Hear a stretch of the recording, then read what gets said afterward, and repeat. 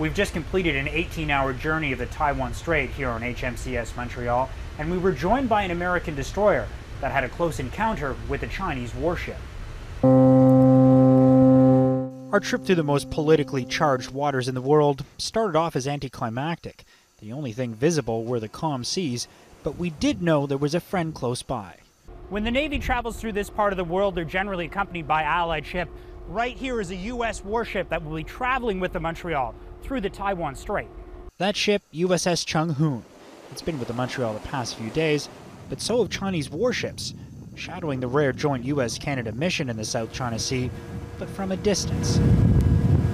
Once the fog cleared in the Taiwan Strait, we shot this video of one of the Chinese ships stepping up their aggression picking up considerable steam coming in from the left, telling the Chung Hoon over the radio to move or there'd be a collision.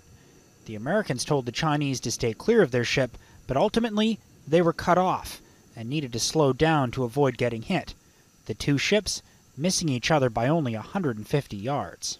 When you're in big warships uh, maneuvering close to each other, 150 yards uh, is, is very scary. Uh, and you, you don't ever want to be that close to another vessel because too many things can go wrong and you can actually have a collision. That's HMCS Montreal Commander Paul Mountford.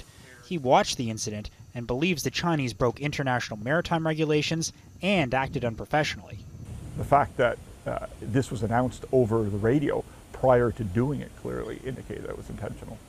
The Chinese ships didn't attempt a similar maneuver on the Montreal, but did get within 1,000 yards of the ship. I'm hoping that uh, that was an isolated incident that, that won't uh, happen again for us uh, because we have international law on our side. This is, this is international waters.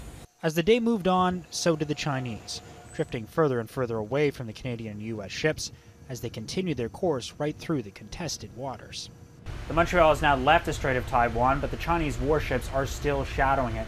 But it's the near collision with the U.S. destroyer that might have lasting impacts on the U.S. China relationship. Mackenzie Gray, Global News, on board HMCS Montreal in the South China Sea.